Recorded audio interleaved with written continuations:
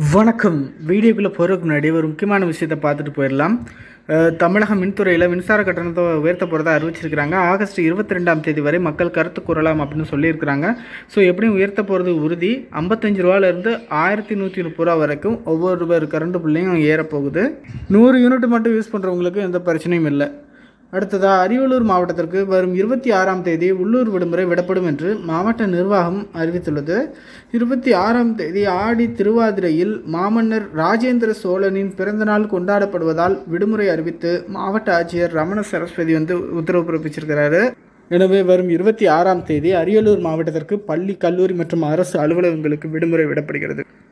தமிழகத்தில் வைகாசி ஆனி மாதங்கள் தொடங்கினாலே அனைத்து மாவட்டங்களிலும் திருவிழாக்கள் தொடங்கியது என்று கூறலாம். அந்த வகையில் தென்காசி மாவட்டத்தில் ஆகஸ்ட் பத்தாம் தேதி ஆடி தவசு திருவிழா நடைபெற இருப்பதாக அறிவிப்பு வெளியாகி இருக்கிறது இதனிடையே ஆடி தவசு கோயில் தேரோட்டம் நடைபெற இருப்பதால் தேரோட்டத்தை முன்னிட்டு இந்த விடுமுறை கொடுக்கப்பட்டதாக அறிவிக்கப்பட்டுள்ளது.